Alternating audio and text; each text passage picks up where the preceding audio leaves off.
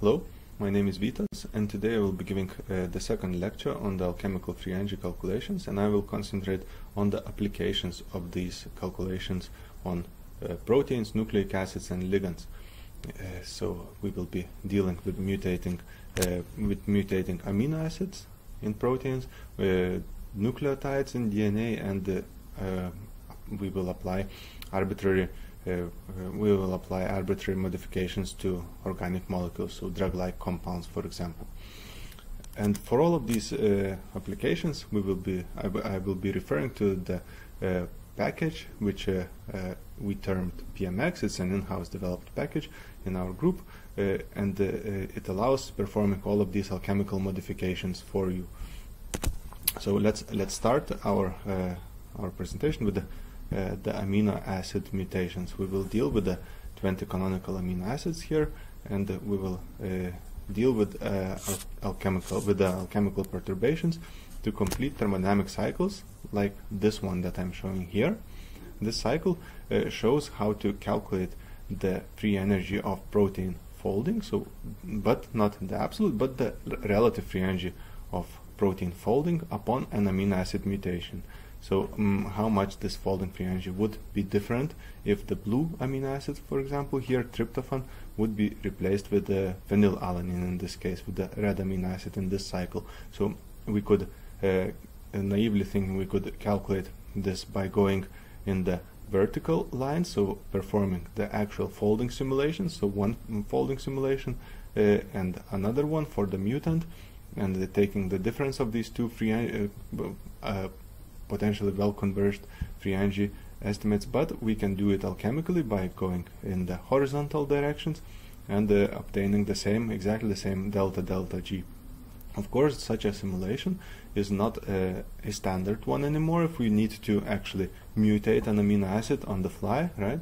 It requires special treatment of our uh, structures and topologies that we provide to the molecular dynamics simulation engine. We are using GROMACS uh, in, in this case.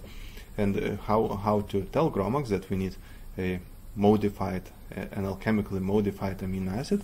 Well, that's exactly what PMX allows us to do. So how it works under the hood, it actually uh, creates a hybrid amino acid. Here I'm using an example, valine to phenylalanine. Let's say we want to mutate valine to phenylalanine.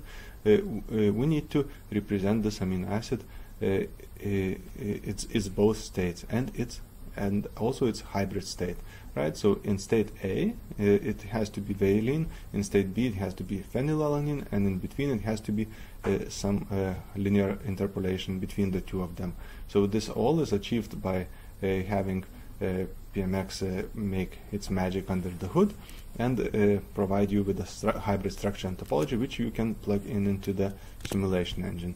So uh, how PMX works, just very briefly, it is a set of Python uh, it's scripts it's and, and modules which takes a structure and firstly it mutates, mutate.py for example, it mutates the amino acid and creates a hybrid structure then PDB2GMX, that's a, a GROMACS tool, which uh, creates a topology, and then we add the B state, so we just adjusted the topology to get a hybrid, hybrid topology. All of this workflow seems quite complex, but it also can be achieved via PMX web server, so you can see that exactly the same workflow then is uh, just uh, hidden in the uh, in, in just in a few clicks, uh, uh, mouse clicks in this web server. Uh, and one more thing, just before going into the applications, I would like to tell uh, a little bit about the non-equilibrium free energy calculation protocol, which we'll be using in all of these applications that I will show uh, later. So it is a, a, a powerful approach, uh, not um, uh, not uh, so frequently used as the equilibrium approach. However, it has its own advantages, and how how it proceeds. It's um, slightly different from the classical stratification uh, approach, uh, uh, which um, FEP approach, for example, uses. in this case, we are simulating one state of the protein, so wild type state in equilibrium, state A. We also do the same. Uh, simulate, uh, we simulate in equilibrium, just run a, a, molecular dynamic simulation in state B. We acquire the two equilibrium trajectories extract the snapshots from them, and start very rapid non-equilibrium transitions. Those transitions are uh, on, on the order of hundreds of picoseconds. So very quickly we make uh, we introduce a mutation, so from wild type to mutant, and also going backwards from mutant to wild type. In, uh, during each of these transitions, we record the work required uh, to, to perform this transition and uh, plot them in histogram way, as, as it's vis visualized there in the small histograms in the, on the slide. Uh, once we do this, we can uh, also uh, use Crookes fluctuation theorem and extract the free energy difference between those two states. Right, so we now have all the technical background that is needed to go into the applications and let's have a look at the ter protein thermostability. So we wanted to know what is the free energy difference uh, upon uh, amino acid mutation uh, in protein folding. Uh, we looked at the Barnase and it's a very good uh, test system because it has been studied experimentally very very uh, thoroughly. here we collected 119 mutations at 55 positions. You see that almost whole protein here is covered so we can mutate every almost every residue um, in it, and we can compare uh, against the experimental uh, uh, experimental measurements, and this gives us a very interesting thermodynamic comparison of the force fields. We can check which force fields perform better and which worse in terms of agreement to the experiment. Right here, I'm showing averaged unsigned error. AUE, AUE is averaged unsigned error from uh, the experiment when averaging all the results for all of these 119 mutations. And we can see that all the force fields perform quite well.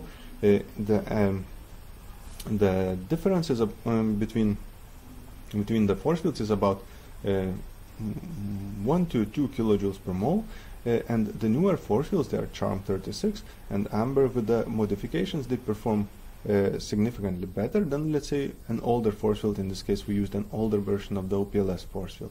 So we can start uh, really uh, looking at the thermodynamic comparison of the force fields and we can also look in, into a, an interesting avenue how to combine the results in the best way. So here I will not go into much detail, but we can start building now consensus results of the force fields. Either we can use some machine learning uh, technique like partial least squares uh, uh, technique to build um, one single best answer, uh, let's say by combining the results from the two force fields or from five of them.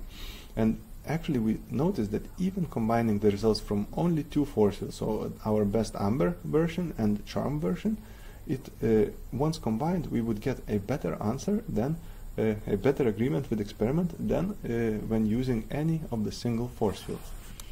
Uh, similar uh, result comes out also for a different protein. We also probed, uh, it's not only working with that Barnase, but also here staphylococcal nuclease. It also gives a very mm, accurate uh, free energy differences below one kilocalorie per mole. This is uh, like a golden uh, limit, which usually people uh, strive to reach uh, in, in, in accuracy of these calculations. So we are well mm, below that limit, and mm, also again the consensus approach works better than than a single force field taken separately.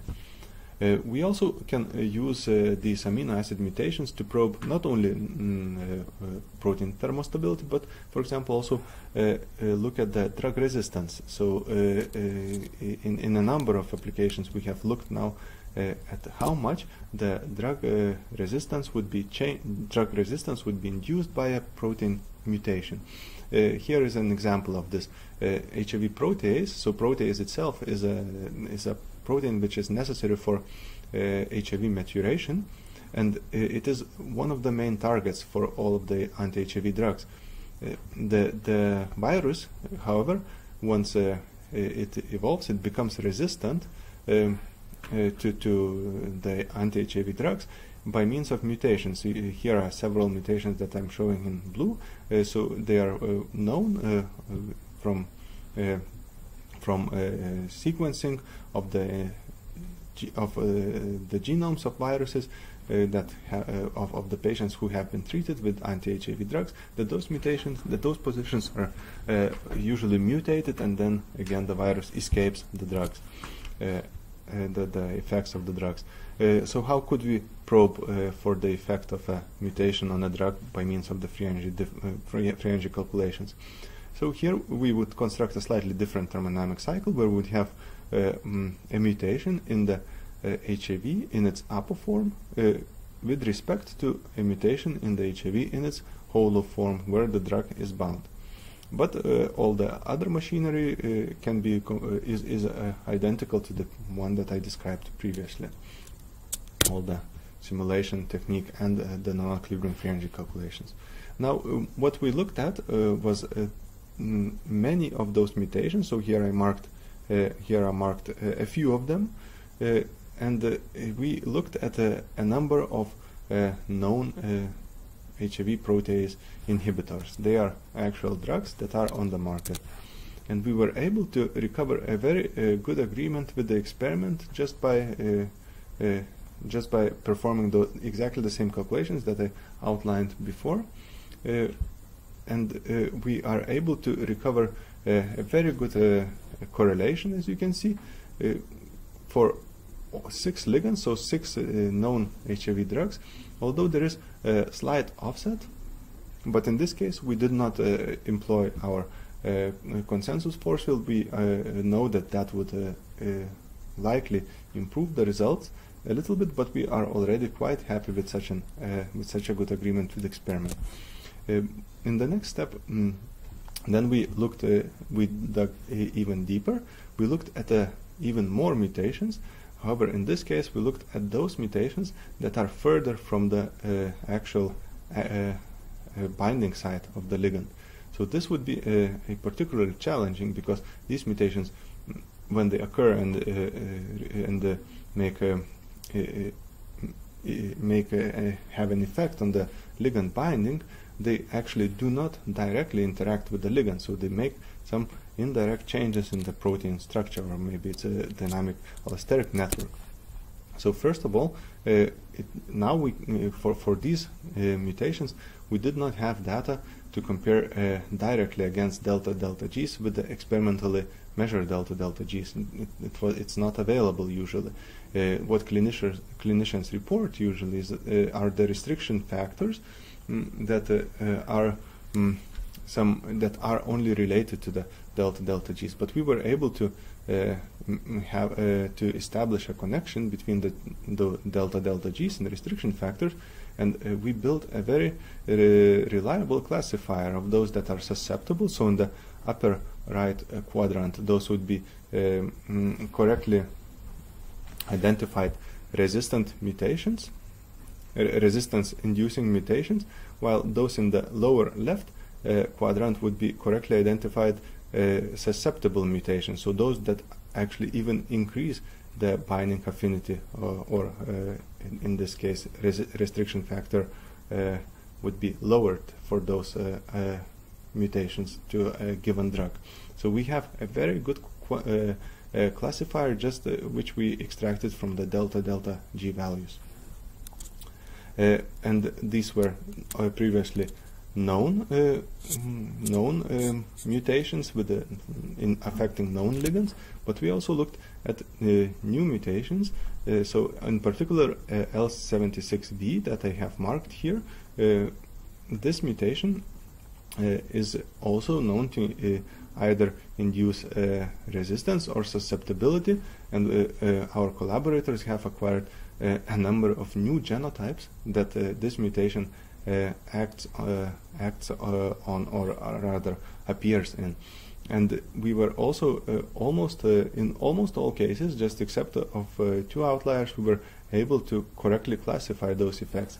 And once we were able to classify those effects we could also identify the underlying cause why this resistance or sus susceptibility occurs upon this mutation and a particularly interesting thing is that uh, once mutated away, this uh, leucine 76 allows uh, mm, allows lysine and uh, aspartate amino acids just uh, to form a hydrogen bond which changes the overall allosteric network and which changes then the interactions of a particular ligand binding to the active site.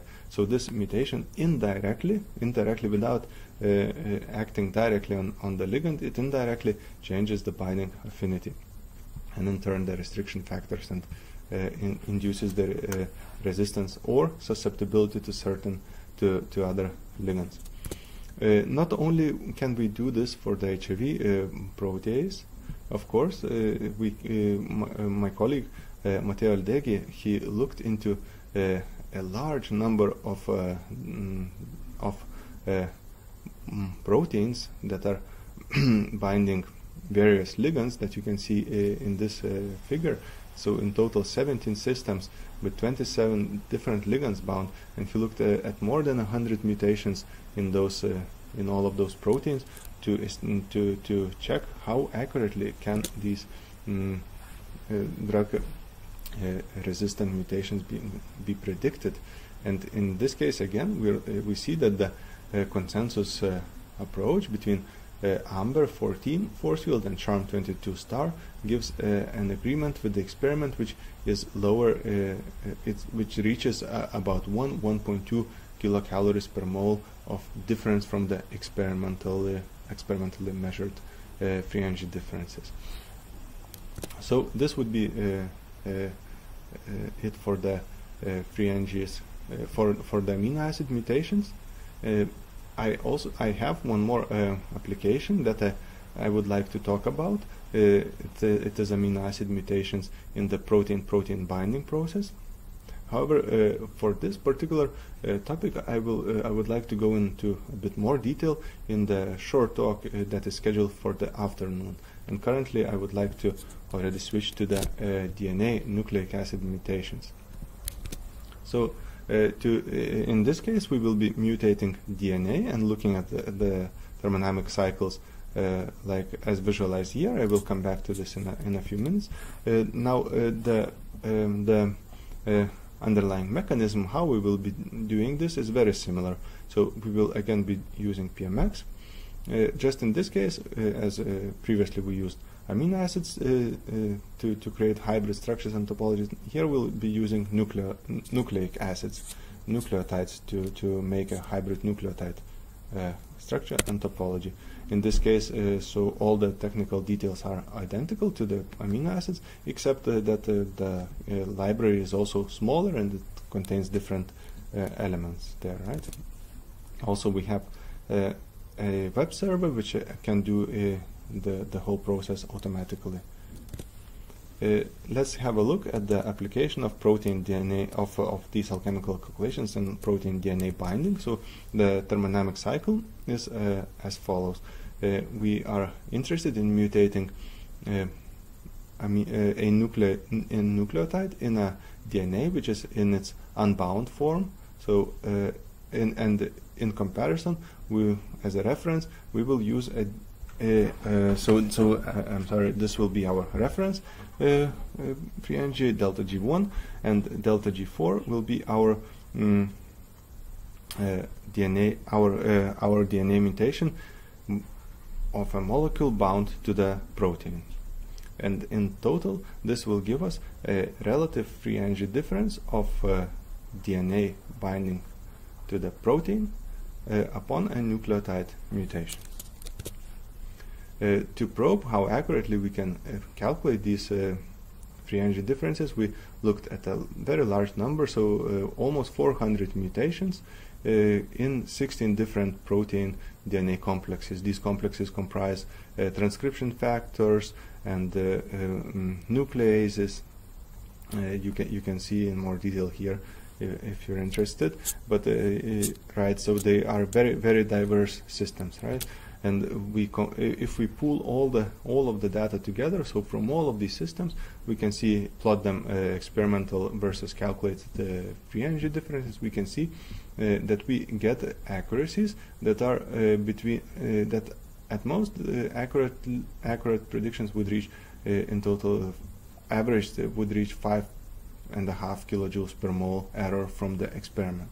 This is slightly worse than the de uh, desired 1 kilocalories or 4 kilojoules per mole error uh, that we saw for the amino acid mutations. However, of course, uh, in this case, uh, there are there are several um, several things to note here. For example, that the experimental values, if we look at the plot on the left, they seem as if they are, have a very strict capping region. So this indicates that it's likely that experimental measurements themselves they have a certain range where they could measure the the changes in the affinity. However, uh, of course, calculation does not does not uh, have any uh, limitation in that respect. So maybe it is also uh, both inaccuracies in the experiment uh, or a limitation of the measurement range from the experimental side, and also inaccuracies that uh, we have from our calculations that contribute to this slightly larger error. And again, we uh, probed AMBER, CHARM, and the consensus force field, and we see that if we have a consensus approach, we are outperforming any individual force field as taken separately. now, where where could we apply such a calculation of uh, delta delta G uh, for protein DNA binding? Well, we could uh, construct something uh, what is called um, a, a, DNA profile, DNA binding profile. So uh, this is a, a, profile that is acquired uh, from an experimental measurement and it shows what frequency of a nucleotide you would find at a given DNA position. So uh, what what nucleotide would be preferred there? We could also recalculate such profiles from our calculated delta delta G values. And once we do that, we obtain, well, uh, similar profiles. And now it's interesting to note that the top profile, the one on the uh, in, in the top panel, is uh, obtained from our calculations. However, uh, the uh, four lower profiles are obtained from uh, different experimental techniques. And we can see that it is, and we can even quantify, I'm, I'm, not going into the details here, but our computational profile is Mm, very much indistinguishable uh, from the uh, from the different computational techniques. So uh, it could be mm, considered to be to fall well within the experimental error of identification of these profiles. Uh, and all right, with this we can uh, proceed with the, to our third part, to the ligand modifications, ligand-free Ng calculations. And here, here we will be looking at, at a slightly yeah different different approach because the same strategy will not work anymore. so pre-building a library for canonical amino acids or nucleotide mutations will not work because ligand modifications can be very um, a set of them can be very diverse and every ligand pair that we would consider would uh, well would be unique uh, since the chemical space is mm, nearly infinite so what we do, uh, we apply a different strategy. Here we uh, build three different modules uh, that would apply, that would allow mm, dealing with any arbitrary modification.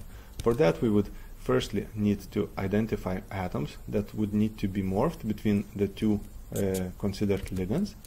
To do that we can either align the um, two molecules. If they're similar then the mapping will be quite good. However, if they're not similar, in, in, in their own mm, 3D structure, we rely on the maximum common substructure, so on a graph-based um, comparison of the two molecules. Uh, this is all uh, encoded in, in a rather complex uh, workflow, um, but uh, the user doesn't need to worry about this. Uh, it, simply the algorithm will be probing one path, will be probing another path, and will be choosing a more suitable solution. For example, if we were to align these two molecules, we could uh, identify either on the left maximum common substructure, which would be one uh, solution, alignment would yield a different solution, and then uh, the algorithm would be intelligent enough to choose the better one according to its measures. Uh, subsequently, we, uh, the, we have a, an automated technique to build hybrid structures and topologies, and we also have a suggestions uh, for ligand pairs in a small network of compounds. For example, if we have a, a network of compounds, if we have a compound library that uh, looks like this here visualized, we would like to know which ligand would we like to mutate into which so that we uh, cover all this chemical library. So we mm, build a pairwise matrix so, mm, uh, based on the distances that our algorithm calculates uh, intrinsically uh, and, devises a distance matrix. Subsequently, this distance matrix can be uh, mm, can be can be uh, built into a, a can be transformed into a minimum spanning tree or several minimum several several trees so that we would have redundancies in the in the library. Uh, now let's look how we could apply this uh, this approach. So we have uh, scanned uh, a very large set of library uh, a very large set of ligand modifications for ligands binding to a protein. Uh, so in in a sense, we were acquiring delta delta G's uh, uh, in the following thermodynamic cycles, where we looked at the ligand modification in water and also in the ligand in the same ligand modification when the mm, ligand is bound to the protein thus giving us the free energy difference of uh, ligand modification uh, uh, of, of ligand binding to the protein upon that modification. Uh, now we scanned 11 systems and probed almost 500 ligand modifications and here is the overall summary of the results. Uh, there is a, a, a, comparison of different force fields, GAF, CGNFF, and our consensus. And on the uh, and on the left here we see also the FEP plus, which is a different uh, approach from a commercial software uh, uh, company, uh, Schrödinger com company, which is frequently used um, in the pharmaceutical in the, in, the, pharmaceutical industry. if we look now at the accuracies, in terms, for example, let's look at the average unsigned error, the top panel there, we see that uh, consensus approach performs either as well or even outperforms the best uh, results of the FEP+. Uh, and in the um, Pearson correlation, we are also well within the error bars uh, uh, of, of the commer best commercial software. And again, consensus approach performs better than any single force field taken considered separately.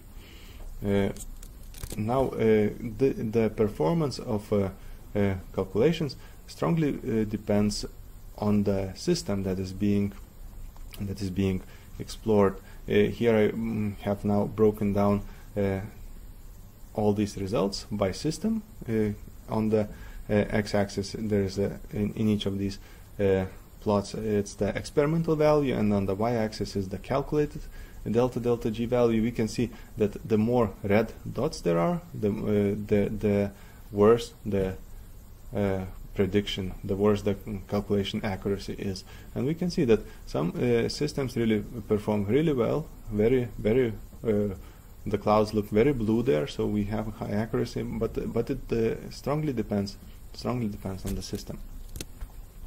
Now we, uh, uh, for, for the last uh, three minutes of my talk, I would like to uh, also tell about the absolute free energy calculations because not only can we do uh, the relative free energy calculations, we can also look at the um, at disappearing or appearing the ligand, full ligand.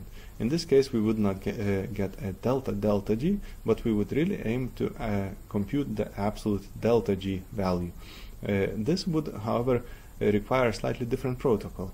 We would require restraints, so the ligand, when it's decoupled, they are on the right side, it would need to be restrained somehow to the protein, and this, those restraints would need to be uh, taken into account uh, in the free energy estimation. Uh, the perturbations are, of course, larger in this case, and uh, hence the convergence will be slower. Uh, the the protocol here uh, is can be visualized also as this as this thermodynamic cycle. We want to disappear the ligand, so decouple it from solvent on the left side, uh, apply the restraints, and recouple it uh, in the uh, when it's bound to the protein, and also remove the restraints. So the cycle is slightly more complex than those cycles that I was showing before. Now, as a test how our, how well our approaches work, Uh, we can use a, a, test system which uh, has been recorded, um, which has been collected by Aldeghi uh, and the colleagues. So in 2017, so several years ago, Matteo collected a set of 22 bromodomain proteins. Those are proteins that interact uh, strongly with the bromosporin, which is a, a ligand inhibiting those uh, bromodomains. And uh, he, there is also experimental data available on, on the absolute binding free energies of bromosporine to all of these bromodomains. And what Matteo did then in, in 2017, he calculated, he used the Hamiltonian replica exchange enhanced free energy uh, uh, perturbation technique, so equilibrium technique, and obtained uh, the results that are visualized in the upper left panel. Now we wanted to see what would happen if we were to apply either not apply this enhanced uh, replica exchange protocol, just simple FEP. We see the, this in the middle panel, uh, in the uh, upper row, middle panel we see that the accuracy drops. So from uh, 1.5 uh, in the average unsigned error, we drop to 2.3 average unsigned error. That's quite a large drop in kilocalories per mole. And um, uh, what if we apply the non-equilibrium uh, free energy protocol? Well, we gain uh, in accuracy, uh, and accuracy becomes almost identical to that which is uh, achieved by Hamiltonian replica exchange FEP approach. Um, in, uh, in terms of Pearson correlation, we actually, with the non-equilibrium approach, can reach the highest accuracy of these uh, of these three methods, almost reaching 0.6 in Pearson correlation. Um, the we can also look at the breakdown uh, by system but uh, of, of each of these energy estimations but maybe it's more interesting to look at the convergence so we uh, here on the in the panel C, I'm showing the convergence, mm, or rather average unsigned error of all of these calculations uh, mm, in uh, with the uh, uh, uh, depending on the sampling time used per obtaining a single delta G value.